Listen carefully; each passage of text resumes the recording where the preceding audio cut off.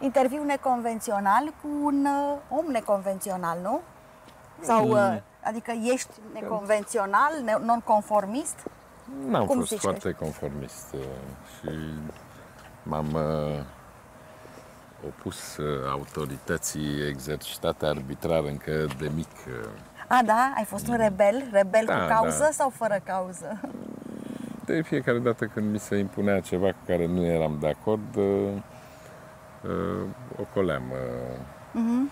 Nu ascultam uh, comenzile. Dar asta erai, erai de mic? Cum uh, ai fost ca, ca și, cum se spune acum, ca și copil, ca să evităm cacofonia? Cu inițiativă. Da? Un copil cu inițiativă. Adică, dăm cu exemplu. idei, uh, cu uh, creativ, uh, care le-a încercat uh, pe toate sau multe le-am încercat. Uh. Am făcut și, normal, destule năzdrăvănii. Asta vreau să destule te năzbâtii mult, așa, nu erai, nu erai cu Da, minte? da, da, nu eram uh, cu minte. Uh, Leonard era Fratele mai mare grijuliu. sau mai mic? Mai mare, mai mare. Mai mare, Leonard. El era, să spun, uh, băiatul cu minte care trebuia să aibă grijă și de mine să mă țină în- A, da? într-un cadru cât de cât rezonabil. Adevărat că se vede așa, adică Leonard Orban e Pe mai... Păi Leonard, uh, eu nu simt pare să fi mai, fost, uh, eu riguros, simt așa, nu minte să cântă fi ca fost tine, nu? certat. Ba nu, a cântat. Da, dar nu, nu, nu, tu te-ai produs așa, chiar ca un politic, nu, ți-ai n-am asumat vrut chestia neapărat, n-am vrut neapărat să mă pro- produc, dar de regulă când simt uh, și e o atmosferă plăcută, îmi place să cânt. Ești spontan. Și nu am ținut cont uh, că mai sunt camere de filmat uh, în jurul meu atunci când am cântat, dar n-am făcut-o în ideea de a um, mă produce în spectacol. Pur și simplu cânt că îmi place. E, da, da, îți asumi niște riscuri când faci chestia asta, pentru că unora le place, alții spun că te dai în spectacol, știi? Adică povestea cu cântatul, cu cine e generalul, cu astea au nu făcut cred, istorie, știi Nu bine. cred că a cânta este un motiv de rușine sau de complex pentru un om. Nici eu nu cred, Muzica dar... este în firea omului și omul și când e trist și când uh, se bucură, cântă. Așa Ah. sunt strămoșii noștri. Da. Așa s-a născut cântul. Și ai ureche muzicală, voce, că nu e același lucru. Una e să ai ureche, alta e să ai și Eu voce. cânt bine, nu știu cum se aude. Adică tu te auzi am, uh, bine. Am ureche muzicală, normal. Da, De voce. altfel uh, și cânt la instrument și sensibilitatea asta pentru muzică e încă din uh, copilărie, când părinții ne-au dus la uh, spectacole de operetă, de operă, la uh, Ai avut niște părinți concerte, melomani. concerte sinfonice, mai ales tatăl a fost meloman, de altfel tatăl și dorise când era tânăr să urmeze o carieră de tenor, Mhm. dar până la urmă a renunțat uh, la cariera asta, deci uh, cu muzica am avut uh, în familie, uh, era o formă de manifestare și a cânta era un lucru normal. Mhm. Și pentru mine și pentru fratele meu. Amândoi cântați? Da. Pe Leonard, Orban nu l-a văzut lumea uh, cântând Leonard ca pe mai tine. puțin, da, pe Leonard mai puțin, da. Dar uh, în uh, tinerețe și el uh, a și participat la uh, un concurs cum se organiza în vremea Cântarea României, respectivă. sau? Nu chiar cântarea României, era un concurs de muzică.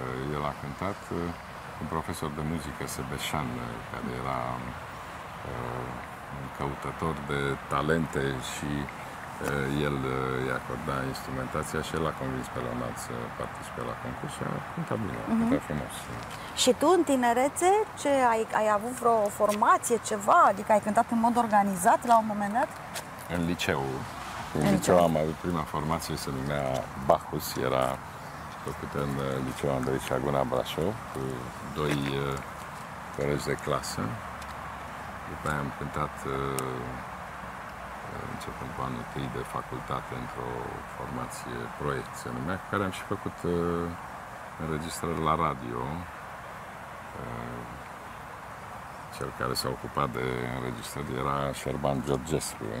Dumnezeu să-l odihnească, da. Dumnezeu să-l odihnească și când a auzit uh, la una dintre melodii, trebuia să înregistrăm uh, trei melodii și la una din melodii uh, textul începea cu e întuneric și e frig, din trupul meu aș vrea să strig.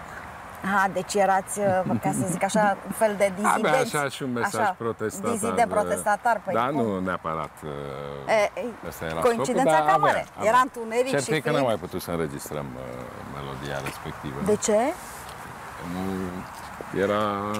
A, păi deci era nu o trecea melodie de cu cenzură, probleme. O anumită cenzură. Și ați cântat-o așa underground? Sau Am mai cum? cântat-o în concerte, dar n-am înregistrat-o la radio. Am înregistrat Aha. altă melodie la radio. Ce fel de copilărie ai avut? Uh, O copilărie fericită, lipsită de griji uh, sau cum? Da, da, o copilărie foarte frumoasă. În primul rând, uh, atunci când sunt doi în casă, niciodată nu se plictisesc. uh, Da, e bine. Că ce diferență e între voi, între tine și fratele tău? În aproape 2 ani. Ah, Leonard numai e mai bine. Mhm. mare. Plus, uh, acolo unde am uh, locuit în Brașov, uh, era un bloc cu o curte interioară și eram peste 40 de copii. Ah, super! Și era tot timpul zarvă, Erați o gașcă. Mhm. agitație, o întreagă gașcă. Uh, Și- și totdeauna era acțiune. Action! Acțiune. Da, ție ce jocuri îți plăceau? Mie, apropo de acțiune, îmi plăcea foarte mult Țară, Țară, Vrem Ostaș, Asta, sigur. Hoții și Vardiștii, Hoții și ne jucam de a Vardiștii, vine tu, jucam Old Shatterhand, toate, toate, toate. tot de astea de acțiune îmi Da, plăceau. da, da, ce care erau sigur. jocurile Lapte gros, tale? Mai jucam că era mai Ah, mult de, aha, de aha. băieți. Fotbal, toate sporturile le-am uh, practicat. Fotbal? Fotbal, Dar chiar basket, sport mai mult jocurile așa de ai echipă. făcut la un moment Da, dat? păi am fost amândoi la liceu sportiv, uh, A, da? și fratele meu și eu. Fratele meu a făcut atletism, eu am făcut gimnastică sportivă. A, ca mine! Gimnastică sportivă, deci Da, da, da, da, da, suntem da, așa da, da. între gimnaști. Da, eu am făcut de performanță chiar până la 14 ani, când taică mi-a spus trebuie să te ții de carte, lasă te cu ții de sportul carte. mai ușor, da. Că nu prea te am mai o ții de structură carte când sportivă, faci sport. nu, am o structură sportivă și mi-am menținut structura asta sportivă. Și acum, oricând, cu plăcere, merg la un basket, la un fotbal, acum chiar din toamnă vreau să formăm o, două echipe cu care să jucăm de Mhm. două ori pe săptămână. Sportul ar fi trebuit să te învețe și să fii fair play în politică, nu? Și nu sunt... Nu știu. Eu zic că sunt. Da. Da, Sportul te învață multe. te învață multe. Te învață Spiritul de să echipă. depășești uh, ceea ce consider că este greu, dacă nu chiar imposibil. La alergare, de exemplu, e celebrul punct mort. uh, Când ți se Exact, pare că nu mai ai exact. putere, că Atunci trebuie să tragi. atunci îți apare punctul mort în care practic uh, încep să se miște picioarele aproape singure și nu mai simți uh, efortul enorm uh, care depășești, depășești limitele. Mhm. Uh, Să fii competitiv. Să înveți să pierzi, oare, și să pierzi? Te să știi să depășești pe pierzi. tine însuți, uh, să înveți să câștigi, să înveți și să pierzi. Și să știi De să și asemenea, câștigi, la într-adevăr. sporturile de echipă, respectarea regulilor, iarăși, este un lucru care Mhm. se învață din sport, iar la sportul de echipă, în mod clar, spiritul de echipă, cooperarea cu alții, uh, respectarea rolului pe care îl ai în, uh, în cadrul uh, echipei. Și să nu trișezi, mă gândesc, nu? Evident. Dar în politică nu e greu să în, uh, supraviețuiești fără să ca trișezi ca deloc? să ieși primul, cel mai bine este să alegi cel mai repede. Nu, nu să dai Nu să- da, sau genunchi să pui în piedică ficat adversar, sau să da. pui piedică sau să îl împiedici pe altul să alerge Păi da, mai dar repede. sportul e una, Ludovic, să fim uh, realiști. Sportul e una, politica e cu totul altceva. Câte lucruri are în comun politica cu sportul, să mă ierte Dumnezeu. Foarte multe. Eu nu, dar nu vorbim în teorie, vorbim în, Teorie, practică. în practică. În practică, în practică se întâmplă o grămadă de lucruri, îndrăznesc eu să spun, Dar ce? nesportive în politică. Total nesportive și lipsite de fair play. Mm. Depinde de cel care este Sigur implicat că în depinde, viața da. publică și depinde de felul în care se comportă omul politic. În ce mă privește, eu am căutat să respect ceea ce am învățat, inclusiv din educația sportivă Te-a ajutat. uh, și nu numai din educația religioasă, din uh, tot ceea ce m-am primit uh, în cei șapte ani de acasă și în școală, să respect. uh, Educația religioasă, ești creștin ortodox, nu?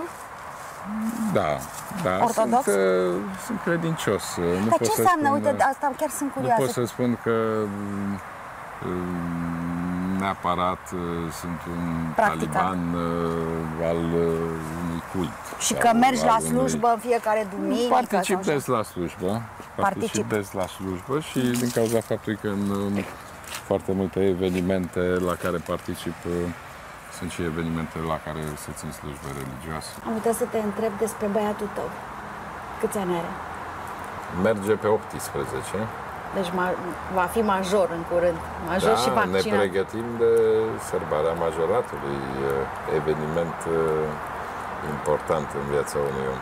Și ce vrea să facă? E a plecat uh, spre științele exacte, fizică, matematică, Aha, aha. chimie. Și unde o să Se- dea? Și în zona, să spun, informaticii se descurcă, dar spune că nu vrea să stea toată viața în fața unui computer și nu, Asta e bine.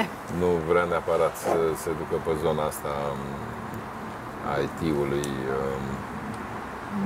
Mă bucur că învață, e serios, L-ai crescut mai spartan așa sau mai l-ai, l-ai foarte cocoloșit liber, puțin? foarte liber. L-am lăsat uh, să dea cu capul de pragul de sus uh, singur. Uh, Nu l-am, uh, Nu l-ai protejat în anumite momente? nu l-am protejat. Am încercat să-i spun punctul de vedere, nu am apelat la interdicții, la pedepse, niciodată, nici măcar nu l-am amenințat uh, că Păi bine, și când făcea ceva lovesc, neregulă, uh, totuși cum uh, reacționai? Normal, niște pedepse, dar pedepse neaplicate cu uh, nervi, uh, ci pedepse aplicate uh, calm uh, și cu explicații. Pe mine nu mă mai lăsa la joacă, de exemplu. Era pedapsa cea mai mare. Și asta, Mă ținea în și casă. asta s-a aplicat. Bine, acum am trecut de perioada asta, deja de pe la 15-16 ani. uh, N-am avut niciun motiv uh, să-i aplic vreo pedepsă. Deci Ceea ai un ce- copil ceea bun. ce mă bucură, ceea ce mă bucură. Și e pe propriile picioare, este caută să găsească rezolvări Cum îl cheamă? la toate problemele cu care se confruntă Tudor Andrei. Tudor Andrei. Da, Orban este un nume unguresc, nu? Tatăl meu are, el, ca să zic așa, e maghiar. Nu știu, cred că în proporție Mhm. Deci de ești, jumi, ești 75%. jumătate, jumătate, jumii jumătate, nu? Mama e româncă. Dar de mic, de la creșă, grădiniță, școală primară, gimnaziu, liceu, am uh, urmat uh, toate în limba română. Am avut prieteni români.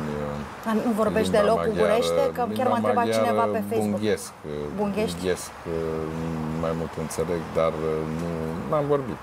Nici n-am avut uh, foarte mulți prieteni, uh, să zic, uh, maghiari. Ok, fii atent. Hai să trecem la de-astea, de ale politichiei, dar combinate cu partea umană, pentru că pe mine mă interesează mai mult omul Ludovic Orban Deci decât politica, politicianul. politica e făcută de mașini, politica e făcută de Nu, oameni. dar nu mi se pare, da, e făcută de oameni, dar nu mi se pare foarte umană întotdeauna. Um, spuneai la un moment dat, uh, într-un interviu, că aroganța, tupeul și nesinceritatea și lipsa de onestitate trebuie să dispară din comportamentul liberalilor. Asta înseamnă că până acum au existat aroganțe ale liberalilor, nu? Hai să ne facem puțin autocritică. Da, da, sigur, poate și eu am fost uh, arogant în anumite situații și alții. Mm. Politica înseamnă relația cu omul. Unde apare aroganța, nu mai există o comunicare, se pune o barieră în uh, comunicare, uh, iar aroganța nu face casă bună cu servirea interesului uh, public la fel și lipsa de onestitate în general. Să nu... Tupeul, Da. da, se poate fără Tupeu, tupeu în vrăznicie, politică? Se poate fără se tupeu? Poate, se poate cu voință, cu determinare, cu curaj, uh, cu, cum să zic, perseverență în acțiunea politică. Trebuie să știi exemplu, să te profilezi, trebuie să știi să, să, am să, să-ți să dau te un să exemplu, faci aliați. Cristina, nu. Am să-ți dau un exemplu. Eu am pierdut uh, destule bătălii și în partid uh, și în uh, competițiile electorale pentru că am un anumit fel de a fi. Nu pot să mint. Dacă am bătut palma cu cineva, îmi respect înțelegerile, iar lucrul ăsta îl cunosc despre mine toți colegii mei de partid. Din cauza asta, cei care au mers cu mine în diferite uh, competiții politice, chiar dacă am pierdut, uh, ei, uh, și nu numai cei care m-au sprijinit, și toți ceilalți au știut despre mine, că eu dacă m-am înțeles cu cineva, mi-am respectat înțelegerea. Și asta în timp îți, în timp, da, dar pe, dezvoltă, la păi, momentul politica, respectiv ai pierdut. Politica nu este un câștig imediat. Orice câștig imediat obținut în politică e pierdut foarte ușor. Și în viață cam tot așa ar fi. este o chestiune de investiție pe termen lung. Mm-hmm. Tot ce faci în viața publică, tot ce faci în activitatea politică, în partid, în instituții, totul se cumulează. Da, și da. totul, totul până la urmă generează consecințe. Iar până la urmă politica este o chestiune de încredere. Uh, iar atâta timp cât oamenii au încredere în tine, uh, supraviețuiești în politică și chiar poți să ai uh, performanțe în politică. Ca să câștigi încrederea și mai ales să menții încrederea oamenilor, trebuie să fii devotat, să Și să vadă că ai cuvânt în primul rând, într-adevăr, că e foarte rar adevărul, asta. Să spui adevărul.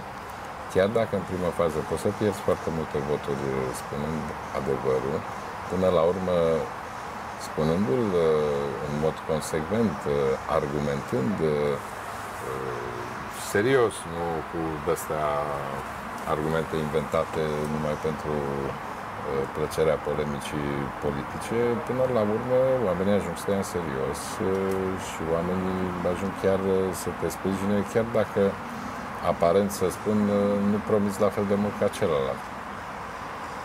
Uitați-vă ce se întâmplă Uite-te, Cristina, ce se întâmplă astăzi în România.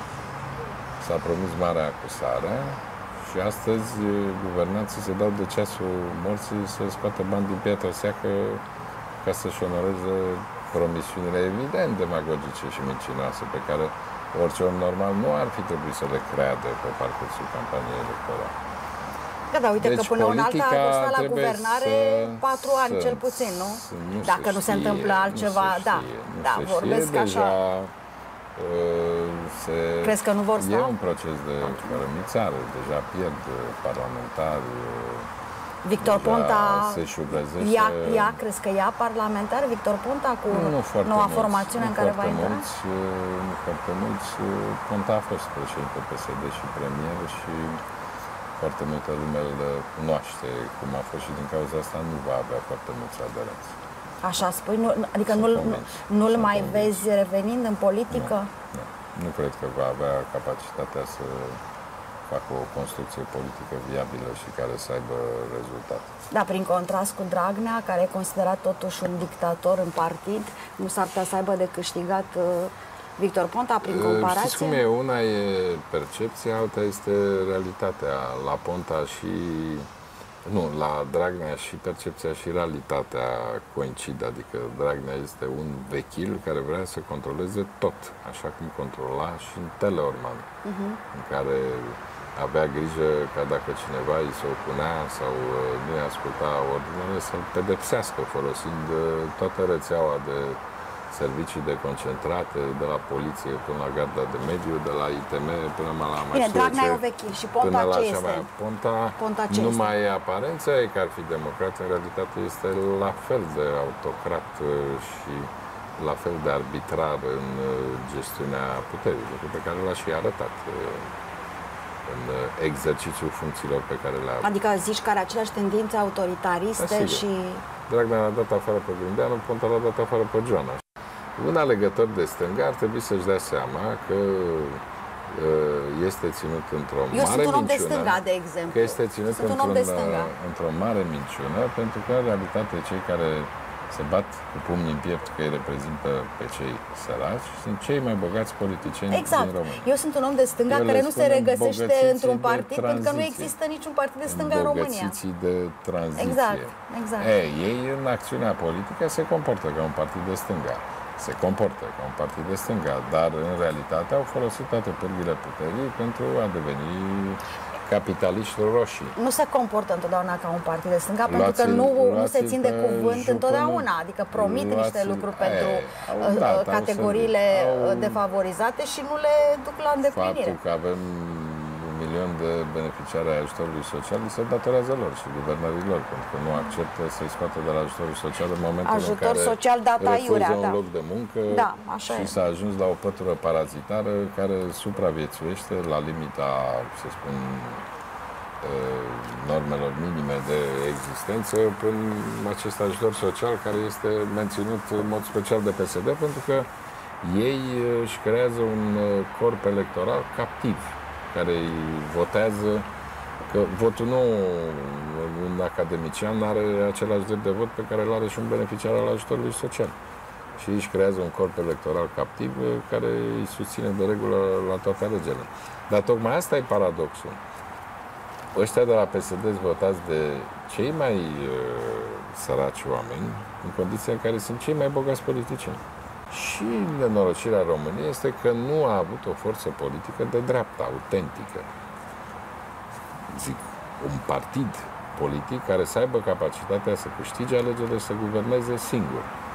Asta e singura forță politică de dreapta care are capacitatea să facă lucrul ăsta e Partidul Național. Dar care n-a avut capacitatea în ultima vreme și ce te face să crezi că o să faci tu minune acum așa să se, uh, așa, să se transforme în făt frumos uh, PNL-ul Dar nu trebuie să facă și... minuni. Trebuie să facă lucruri normale.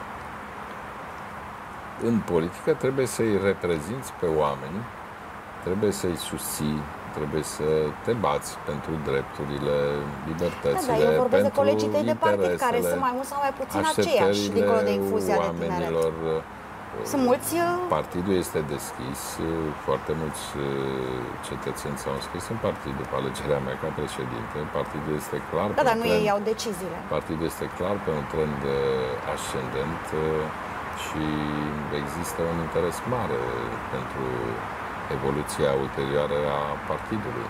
Chiar și oamenii care au decizii nu mai sunt cei care luau decizii înainte, că cei care luau decizii înainte erau numiți în proporție de peste 90% la ora Acum actuală. sunt aleși. La ora actuală, în toate organizațiile, de la organizația locală din uh, comuna din Pați, Giurgiu, până la nivel național, uh, sunt conduceri alese. Membrii PNL au avut uh, șansa să-și aleagă conducătorii. Defecte, că la un moment dat spuneai despre acest obicei al tău care de multe ori ți-a adus pe termen scurt uh, uh, pierderi, dar pe termen lung ai avut de câștigat obiceiul de a spune adevărul, de a te opune, te-ai opus de altfel, da. ai fost singurul care te-ai opus construcției numite USL, nu? Da. Uh, și presupun că ai fost uh, destul de, de marginalizat de partid am avut în foarte multe momente în activitatea politică în care am fost singurul care m-am opus și în care s-a dovedit eh, la că scurt timp sau în termen într-un timp mai scurt sau mai lung că am avut dreptate. Mi-aduc aminte referendumul din 2007 împotriva lui Băsescu. Băsescu. Atunci am propus în birou politic, s-a votat în primă fază să ne abținem la solicitarea de suspendare ca să nu se ajungă la referendum. Că fără PNL nu se întâlnea majoritate și nu se ajungea la referendum. Și propunerea mea a fost în abținere. Pentru că nu aveam nicio șansă la referendum să îl dăm jos uh, pe Băsescu. S-a votat. După care a apărut declarația lui Băsescu. În 5 minute îmi dau demisia. Celebra declarație. Celebra declarație. Rezultatul acelei declarații a fost că tot birou politic și toți parlamentarii au zis să-l omorâm pe Băsescu, să-l votăm împotriva lui Băsescu. Și atunci a fost singurul care a fost împotrivă și care le-am explicat cu subiect și predicat că acest referendum nu numai că nu ne va ajuta, nu numai că nu va slăbi pe Băsescu, ci îl va întări pe Băsescu, îi va crește încrederea că orice victorie împotriva unui demers de demitere îl întărește pe un președinte. Nu, și pentru așa, că, da, pentru așa că s-a tu... și întâmplat, de la 43-44% cotă de încredere cât avea înainte de referendum, a sărit iară peste 60%. Bine, povestea cu a sărit la eșecul peste referendumului 60, e lungă, știi bine. a sărit la Curtea peste Constituțională. 60% cotă de încredere. Vorbesc de referendum din 2007. A, da, da, 2007 ai 2007. 2. Partidul Național Liberal, care a intrat în campania de referendum cu aproximativ 15%, după referendum a coborât sub 10%. Astea au fost consecințele unei, unei decizii în care am fost singurul care am fost împotriva deciziei. Că, repet, dacă parlamentarii PNL se abținau și nu votau, nu trecea de Parlament uh, solicitarea de demitere și nu se ajungea la referendum. Asta nu pentru că tu nu ți-ai fi dorit O ca unul altă- ca Băsescu să fie să Ba dispară, să fie da, suspendat, da, ca da, să ne da, le-am înțelegem. și spus. Doar că nu Le-am era spus și politic la oportun. sau referendum cum. din 2012 am fost împotriva referendumului organizat pe 29 iulie vara, în care le-am spus, băi, nu este posibil să aducem peste 50% la vot. Vara. N-ai cum, pe 29 iulie.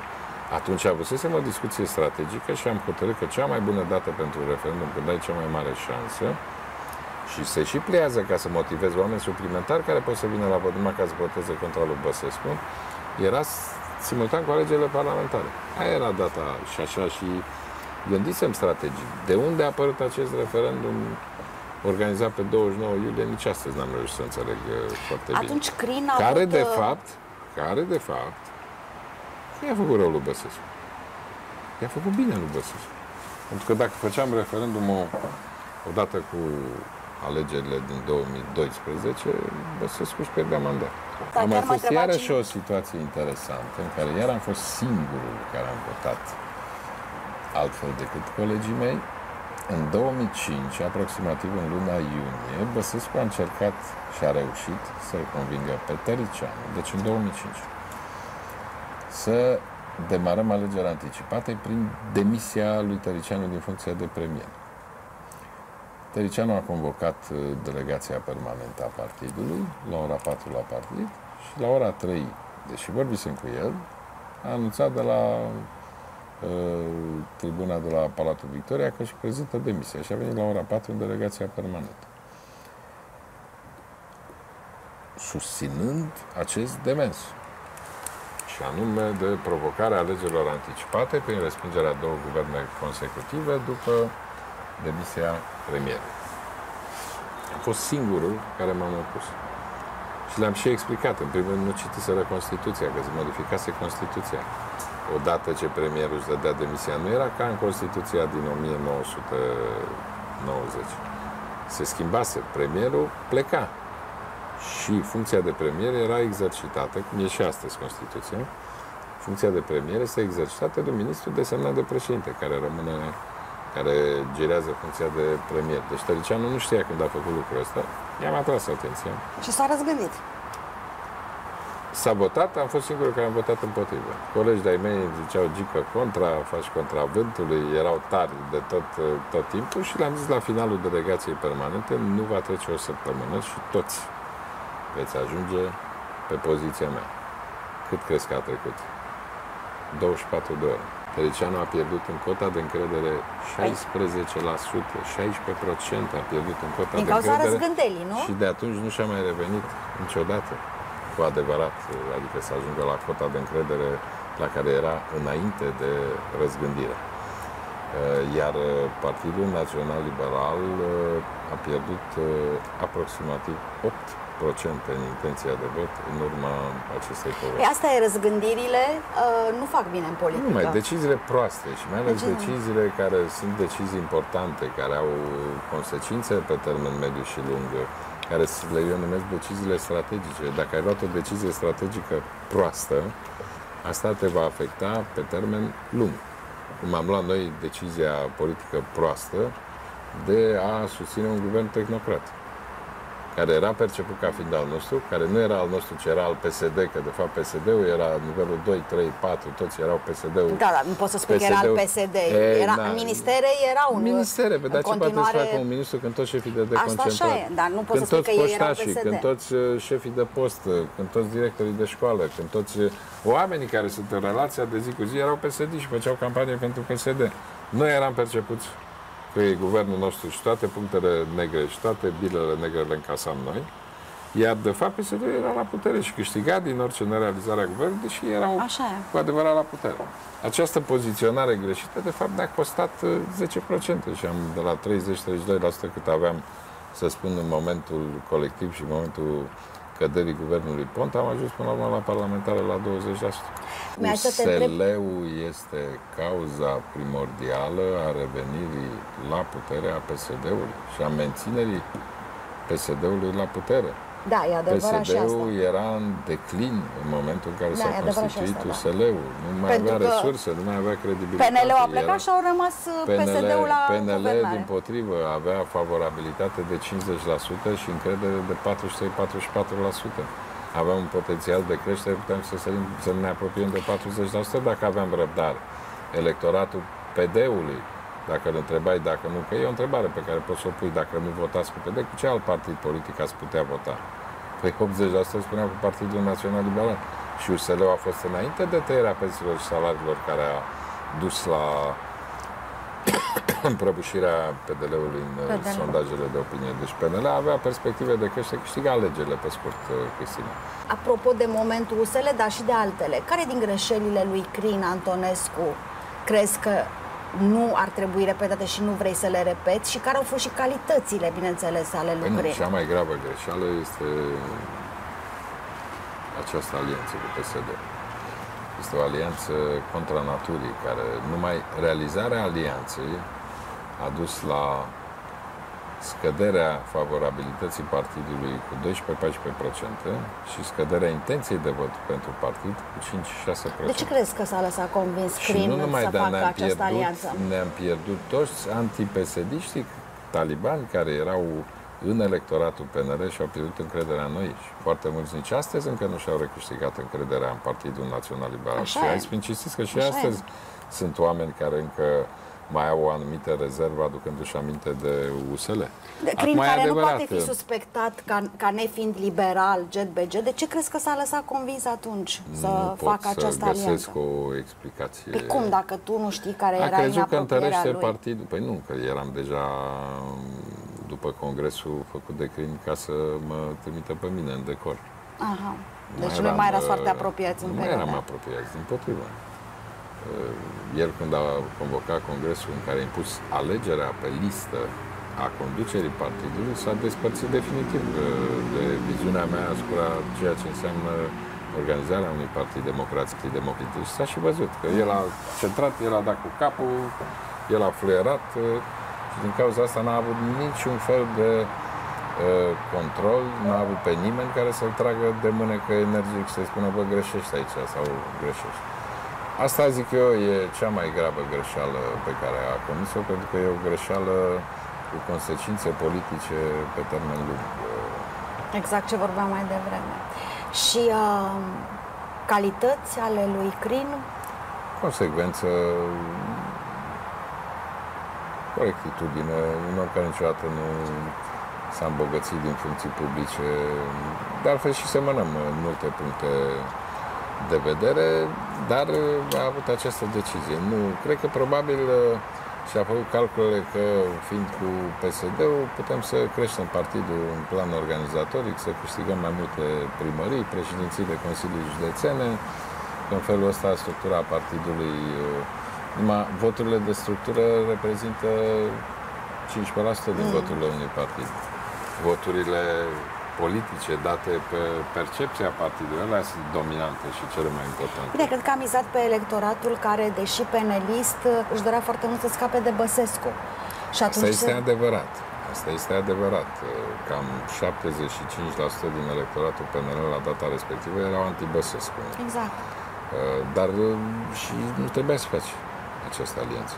Putem să luptăm contra lui Băsescu de pe pozițiile noastre de dreapta, ba chiar într-o poziție în care am fi creat mai multe dificultăți. Noi PNL cu atacând din dreapta și PSD atacând mm, din stânga. Era o poziție mult mai, după părerea mult mai eficientă. eficientă de atac împotriva lui Băsescu. Um, nu asta a determinat. Nu asta a determinat. Spune-mi, apropo de sinceritate în politică, sunt foarte mulți experți în comunicare care nu te-ar sfătui să îți faci autocritica sau să spui aici am greșit sau aici n-am făcut bine sau eu am uh, defectul cu tare. Uh, se spune că uh, e bine în general să apeși pe plusuri și nu pe minusuri, să nu atragi atenția asupra Bun, neajunsuri. Da, orice om, orice om, și dacă nu faci politică, normal că tu ca om îți evidențiezi calitățile. Păi da, ți se pare ok părțile să nu, apropo pozitive, de sinceritate? Părțile pozitive, calitățile, așa ți le evidențiezi, dar inclusiv în sine. Da, da, crezi că nu sunt momente în politică în care e bine să recunoști că ai greșit? Tu, de exemplu, Eu ai sunt făcut un interviu. Exigent, uh, sunt exigent, în primul rând, față de mine. Și mereu cel mai, cel mai mult de la mine. Dar ești uh, suficient de orgolios ca să nu recunoști public când greșești? Sau de politician ca să nu recunoști asta? S-a întâmplat. Nu, nu trebuie să, să, nici nu trebuie să recunoști, că se vede cu ochiul liber. Păi nu, dar actul să, recunoașterii să faci... are importanța lui, totuși. Fără discuție. Numai cine recunoaște o greșeală poate să o îndrept. Exact. Dar nu e obligatoriu să o faci public și mai ales să o faci așa cum fac... Uh, eu nu sunt, uh, să spun, uh, capabil de orice ca să câștig vot. Nu sunt capabil de orice. Mulți și recunoașterea asta vinovăție o fac tot din calculele electorale. Sigur, îți faci anumite calcule, faci anumite evaluări, analize, studii, uh, ai un anumit discurs, uh, ai anumite acțiuni uh, politice, uh, dar uh, eu nu sunt capabil să fac orice ca să obțin uh, mm-hmm. niște voturi. Să uh. mint, să cumpăr voturi sau să oblig pe cineva împotriva voinței să voteze. Așa ceva n-am făcut, nu fac și nu voi face niciodată. Spune, apropo de asta, spuneai niciun blat cu PSD pe sub masă. Că au fost, știm foarte bine, au fost blaturi, da? Da, cum? Între păi, PNL. La și oamenii ăștia 3... care au făcut blaturi cu PSD sunt încă în partid. Totuși, ce faci? Îi pui în lesă? Ce faci? Oamenii ăștia nu se schimbă. Băi, cum să nu se schimbă? Deci îi urmăresc. Stai cu ochii pe ei. Da, normal. Normal că stai cu ochii pe ei. Da, îți dai seama, Cristina, că am informații, știu ce se întâmplă în Consiliul Județean, în Consiliul Municipal. Pentru că oamenii care au fost capabili să facă asta sunt pasibili oricând de uh, Da, da, da, dar am și spus calcă, calcă o dată pe bec, dacă recidivează, nu-i dau afară din partid, dar nu o să mai ocupe nicio funcție de conducere. Plus că, de regulă, cine nu votează cum hotărăște partidul, uh, poate să voteze o dată, îi se dă un avertisment, poate să voteze de două ori, a treia e out. Așa se întâmplă peste tot în... Uh, la vot, că altfel înainte de vot totuși există dreptul la liberă de dezbatere, nu? Se dezbate, există tu, puncte de vedere. Tu însuți n-ai fost de acord, ai fost de multe ori un... Uh, nu, de altfel eu nici nu impun un vot unitar decât în acele teme care, într-adevăr, sunt teme fundamentale pentru noi. Sunt uh, situații în care fiecare poate Teme să liberale, cu adevărat, da. da. Alte, fiecare poate să voteze păi, așa mi se pare normal, da. proprii păreri, mai mult decât atât. Modul în care se poziționează partidul nu hotărăsc eu. Hotărâm prin dezbatere, în organismele statutare, în grupurile parlamentare. O să te, te întreb ceva destul de delicat și sunt foarte curioasă dacă o să reușești să fii sincer. Uh, ai anunțat parteneriatul PNL cu uh, președintele Iohannis, da? Uh, cum e când omul politic Ludovic Orban uh, ia o decizie care poate nu e neapărat aceeași pe care ar fi luat-o omul Ludovic Orban? Uh, bine, nu în sensul că ar fi fost complet, uh, într-un sens complet opus, într-un ci uh, vorbim de nuanțe aici. Pentru că știm foarte bine că președintele nu te-a susținut la alegerile la care a fost uh, cele din urmă uh, aleasă Alina Gorghiu, da? Deci a fost preferata dânsului, Asta da? Asta a fost de mult, da. E, acum uh, tu vii și spui, dumneavoastră nu m-ați susținut, eu vă susțin, Uh, e uh, un gest, Nu, că- un nu, calcul că- politic, că asta a e fost, un... Asta a fost în 2014. Da, dar a fost. În 2014, când Iohannis încă nu depusese jurământul ca președinte al României, era încă președintele PNL și a dat demisia și a susținut-o Palina Gorghiu la reuniunea Da. biroului politic. Ceea a fost ce o preferință pe care a normal, avut-o. e perfect normal, Dar bineînțeles. după ce a depus jurământul, nu s-a implicat în viața partidului, deci dovadă că nu s-a implicat deloc în alegeri, în ciuda tuturor speculațiilor. Dacă vă aduceți aminte, patru luni de zile cât a durat campania internă, toată lumea a speculat că Iohannis va interveni. M-au întrebat uh, la fiecare interviu și se implică Iohannis, nu? I-am zis, nu se va implica. Uh, Iohannis consideră că președintele partidului trebuie ales de membrii Partidului Național Liberal. Și până la urmă s-a văzut că așa a fost. Iar uh, relația dintre Partidul Național Liberal, condus de oricine, și dacă nu era condus de mine și președintele Iohannis, este o relație specială. Pentru că Iohannis a ajuns președintele României, candidând din poziția de președinte al Partidului Național Liberal. Partidul Național Liberal s-a implicat în campanie, a susținut programul lui Iohannis și este angajat alături de Iohannis în atingerea unor obiective din acest program. Bine, eu vorbesc acum de relația umană, care sigur că nu Relația- trebuie neapărat să se deterioreze, pentru că uh, uh, președintele a făcut o alegere alta decât pe tine la un moment dat, Nu dar mi-a promis. o Hai dezamăgire să a spun, existat, Cristina, nu? O Cristina, dezamăgire din Cristina. partea ta, nu? Nu mi-a promis că mă sprijină. Faptul că a sprijinit pe altcineva a fost decizia lui, dar mie nu mi-a promis că mă sprijină. Ok, și- dar nu te-a Deci față de dezamăgit mine- asta? Nu ți s-a părut Normal că, că m-am a fost totuși o simțit, intervenție a lui normal într-un că, proces în care... Normal că m-a afectat și într-un fel m-am simțit nedreptățit. Nedreptățit, da. Dar uh, am trecut repede peste. Dacă ți-aduce aminte, am ieșit în conferință de presă toți trei imediat după alegeri. Da, da, I-am Nu. acordat sprijinul lui Alina încă din prima zi. știu, în care știu. a fost aleasă. Nu l-am atacat pe Iohannis, n-am zis un cuvânt rău de Iohannis uh, încă din prima zi, din momentul alegerii. Și astăzi, relațiile în politică nu trebuie să fie neapărat de prietenie. Chiar trasul de brăcinar și, uh, cum să spun, uh, găștile astea de oameni mult prea apropiați nu sunt sănătoase în politică. Vei colabora cu Băsescu dacă veți colabora cu PMP-ul. Deocamdată e departe o majoritate parlamentară care Ce se sper poate să iasă susține- Traian Băsescu din care se politică poate până susține atunci? un guvern de dreapta. El a zis că este, a zis că nu mai candidează. candidează. El are un cuvânt de spus în partidul ăla, el nu se va liniști, e un om care nu iese din politică așa cu una cu două. Cum veți negocia cu PMP-ul? Că practic veți negocia cu Traian Băsescu. El este vocea forte acolo. în partid. Deocamdată nu suntem în situația de a negocia. Cred că e o situație la care nu vrei să te gândești. Deocamdată. M-am gândit, m-am Prefer gândit. să nu te M-am gândești. gândit, dar nu suntem în situația de a negocia, din fericire. Ce părere ai despre televiziunile de știri? Sunt unele care te favorizează, altele din potrivă? Sau nu vrei să-mi spui să nu te pui rău cu ele?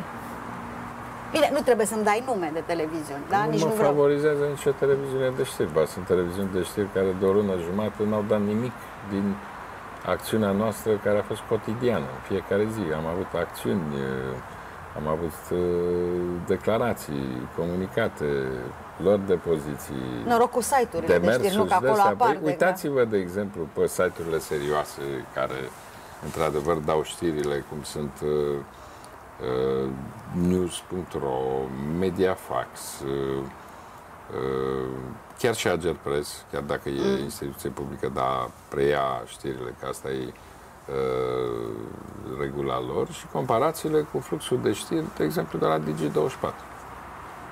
În mod paradoxal, care teoretic nu sunt de Paradoxal, PSD, păi da? stai, nu înțeleg. Dacă Care spuneai de teoretic altă, nu de sunt, altă uh, televiziune, înțelegeam, dar Mi s-a întâmplat în Digi24 anumite zile Digi24 chiar nu e să, ne, PSD-ist. să văd uh, că noi avem o acțiune, da, care nu apare la Digi, fiind singurul partid de opoziție care reacționăm la o măgărie a partidului de guvernământ, nu apare nimic la știrile postului respectiv de televiziune, în schimb seara suntem criticați că nu facem opoziție. Și care Stai e și te explicația? întrebi Ce te așa, întrebi? Dom'le, mai există deontologie jurnalistică, mai există totuși... Păi dacă noi suntem principalul partid de opoziție și numai de asta e singurul partid de opoziție care suntem prezenți în fiecare zi, de ce nu reflexi? Nu cumva ești condiționat de PSD? dacă tu nu reflecti activitatea principalului partid de opoziție. Bine, Dar astea sunt lucruri care... vorbim de un post care nu poate fi suspectat că ar fi psd Poate fi suspectat, știu eu, de orice altceva, dar nu că ar fi psd sau, Cu nu știu, se siguranță mai schimbă are, lucrurile nu sau știu, ce? Deci, după părerea mea, este prea mult arbitrariu în uh, posturile de știri. Asta vreau să te, să te Prea întreb. mult Cum vezi arbitrariu. presa? Cum găsești presa din, din România? păcate și moderatorii, nu mai sunt moderatori în sens clasic, când trebuie să fie un moderator echilibrat, echidistant, care mai mult să stabilească tematica, să-și facă planul de emisiune, să știe ce întrebări să pună, cum gândește poziționarea, să-i lase pe actorii care evoluează în platou să Polemizeze. uh, polemizeze și să-și expune. Nu. Mie mi s-a întâmplat, de exemplu, la România TV, dacă dau exemplu România TV, păi acolo de multe ori eram singur în studio, în care până și moderatorul era mai agresiv decât reprezentantul PSD pe anumite teme pe care le susținea asta. Când erai singur în studio? Nu înțeleg la ce. Singur în studio împotriva tuturor. Aha. Singur împotriva tuturor. A, Că e moderatorul, PSD-ist. moder- Că moderatorul e făcea PSD-istul corp comun împotrivă, cu... e normal. Că mai e ăla de la alte care participă, e normal. Să, ăla, că e ăla de la PMP care e împotrivă, nu e normal. Nu știu dacă vedeți, sunt unii care ies pe sticlă de la PMP, care singura lor trebuie să atace Partidul Național Liberal, nu PSD. Uh, da, să te atace și analistul, așa zis, independent, uh, să te atace și ăla care intervine pe televizor, să te atace și moderatorul, e chiar uh, uh, se sare calul. Bine, Prea moderatorul, pe de multă- altă parte, nu prea trebuie să-ți ia multă- apărarea, prea să mult fim subiect. serioși. Nu, Nu trebuie moderatorul să-ți ia trebuie să fie apărarea. echilibrat, moderatorul Trebuie trebuie, să te să apeți conducă singur. emisiunea, să genereze o dezbatere interesantă care să permite exprimarea punctelor de vedere polemice și Așa din e. care omul să rămână cu ceva. Știi că se spune că niciun război cu presa nu poate fi câștigat. Tu Sunt ce de crezi? acord, sunt de acord. Cu presa în ansamblu. Sunt de acord, mai ales nu, niciun război dat de un om politic. Da, da. Nu există om politic care să fie câștigat prin război cu presă. Păi și asta înseamnă că Cu trebuie să presa te în pui ansamblu. bine cu ea uh, Nu, uneori trebuie să ai o și relație să înghiți normală niște și firească. lucruri. Să ai o relație normală, să ai o relație corectă, să ai o relație de comunicare Mhm. permanentă pe toate nivelele. Uh, Asta e. Să Că comunici chiar și până atunci la când te, urmă- când te nedreptățește și, Chiar să, și atunci să când te continui să nedreptățește. comunici. Da. Eu am lucrat un an de zile în presă la viitorul românesc imediat după Revoluție și într-un fel am privit lucrurile și de pe partea unui jurnalist. Mhm. Și întotdeauna caut uh, să mă pun și în pielea unui uh, jurnalist atunci când uh, a scris ceva sau când uh, dă sau nu dă o știre sau când o dă într-un anume fel. uh, Și, Deci știi cum e și de partea de cealaltă. exemplu, niciodată n-am apelat, uh, nu sunt un părăcios să mă apuc să-l sun pe șeful de secție politică de la ziar sau să-l sun pe directorul televiziunii să mă plâng că un reporter uh, a dat o știre proastă sau uh, neadevărată. Asta e o prostie, vorbești cu reporterul. Direct că cu el. reporterul este cel cu care te întâlnești zi de zi sau săptămână de săptămână. Până la urmă, el face toate știrile. Până la urmă, cu el trebuie, în ultima instanță, să stabilești o comunicare corectă, să determini, fără să apelezi la, uh, să spun, uh, amenințări sau la alte tipuri de uh, influențări asupra lor. Te uiți mult la televizor, la talk show sau la altceva? Când am timp, mă uit. La talk show le Și la urmărești? talk show, da. Și la altceva mai apuci? Uh, mai urmăresc uh, fotbal, meciuri, mai puțin campionatul intern, numai când sunt derbiuri. Mă uit Stelist, la dinamovist meciurile sau altceva? de pe mm, Champions League, stelist. Stelist. Uh, Mă uit la Champions League, mă uit la meciurile echipelor naționale și la meciurile echipei naționale a României, chiar dacă de când e Cristof Daum uh, ne ducem din eșec în eșec. Uh, Mai am așa, dar puțin timp. uh, S-a redus mult timpul de când sunt uh, președinte, mi-am redus substanțial timpul pe care Nu mai ai timp de îl am la televizor. dispoziție. De exemplu, n-am văzut uh, serialul care l-am urmărit uh, cu sufletul la gură. Nu spune urzeala tronurilor. Urzeala tronurilor. Unicare. Asta a fost uh, cuvântul pe care l-ai folosit cu Dacian Cioloș. Spre ce Da. crezi că se îndreaptă comunicarea asta până Nu la știu. urmă? Așa Nu ce știu. feeling ai? Nu știu. Habar nu. Dar tu ce ai vrea de la comunicare asta? Cum ai vrea să se finalizeze dacă ar fi după tine? Vreau ca Partidul Național Liberal să câștige alegerile. Păi și Dacian Vreau Cioloș ca poate fi unul orice dintre om de oamenii care să valoare- pună umărul la Sunt asta? mulți oameni de valoare și în partid și în afara partidului care pot să contribuie la uh, îmbunătățirea percepției partidului, la creșterea performanțelor și la uh, ajungerea în formă maximă. Asta e un răspuns diplomat uh, E un răspuns Uh, corect. că Nu cred PNL-ul că poate Partidul face Național treabă și Liberal- fără Dacian Cioloș, Da, că nu e sigur. neapărat Da, nevoie de da, Dacian Cioloș, da, asta da, vrei să da. spui, nu? Mi se pune de fiecare dată această întrebare. știu, Dacian da. Cioloș are altă treabă. Există destui oameni de valoare și în partid și în afara partidului. Înțeleg. Um, ai mai spus ceva la un moment dat, cum că um, colaborezi bine cu Emil Boc, că îl apreciezi ca primar. Da, Ai zis la un moment dat că face o treabă remarcabilă ca primar. da. Eu, ce vreau să te întreb este, vorbim despre același personaj? Adică s-a schimbat așa personajul? A- E o schimbare la fața lui Emil Boc din uh, premierul de paie al unui Primăria, președinte primăria autoritarist? poate să o conducă singur, uh, guvernul nu l-a condus el. Da, faptul că nu l-a condus el nu e o notă proastă pentru el? Eu m-am referit la activitatea domnului Boc, colegului meu de partid, ca și primar al uh, Clujului, care este o activitate E un bun Remarcabil. primar, spui. remarcabilă. E un bun primar. Da. Dar știi că el are totuși reclamații de la clujeni și inclusiv de la colegii mei din presă că nu știe să comunice cu, cu presa. Ori tu ții foarte mult la comunicare. Adică e undeva așa deasupra în uh, stratosferă dânsul, se pare. De foarte Poate multe. comunică numai anumite lucruri cu presa, alte lucruri le comunică direct uh, cu oamenii. Deci mi-a e spus. apărarea, înțeleg, lui Emil Boc. Nu apărare, deci ca primar, uite-te cum arată Clujul, uite-te cum se dezvoltă Clujul. Uite-te la mm, ce se întâmplă în Cluj. Este Și asta îi se datorează de- lui în mare parte, crezi? În mare parte, păi da, contează foarte mult. Primarul e decisiv în uh, dezvoltarea unei comunități locale. Ce defecte trebuie să ai ca să reziști în politică? Te întreb. Ce defecte în calități? Defecte. Slugărnicia, de exemplu. Mm, da, chiar asta, să te dai Promovați bine foarte cu pe mulți, lângă șef, da, Asta exact. este o întreagă cultură în partidele din România, cum să te dai bine cu șeful ca Exact. să capeți și tu o felie de tort la momentul împărțirii tortului. Și asta e... un Păi și defect. realist vorbi, ce șanse ai să reziști într-un partid și să, să, la un moment dat, să ai o ascensiune fără să te ai bine cu șeful? Ai exemplu în Serios. față. Ai exemplu în față. Da, da, tu, tu erai deja, tu ți-ai permis Stoica aceste nu m-a poziții înghițit, când aveai, de, da, da, Stolojan- aveai o poziție în Stolojan, partid. când a fost ales Nu președinte, erai la începuturile. Când a fost ales președinte, mi-a recomandat să-mi iau o vacanță politică cât e el președinte. Cu Tăricianu nu se poate spune că m-am înțeles foarte bine. Crim, cum a avut ocazia, a făcut un congres ca să mă dea la o parte. Deci nu se poate spune că am stat prea bine cu șefii. Nu prea mai te-ai avut vorbesc bine de cu aia șefii. deținătorii de putere, că am fost împotriva lui Iliescu, am fost Emil Constantinescu a fost singura perioadă în care am avut o relație, să spun cât de cât normală cu președintele. Am fost împotriva lui Băsescu, uh, iar ca premier, ce să mai vorbim? Contra lui Năstase, contra lui Deci ești un Ponta, opozant prin contra- vocație, ca să Nu zic. neapărat uh, un opozant, am și exercitat puterea și m-am pregătit și am capacitatea de a exercita puterea cu efecte favorabile pentru oameni. Întrebări de la oamenii de pe Facebook și răspunsuri scurte, da?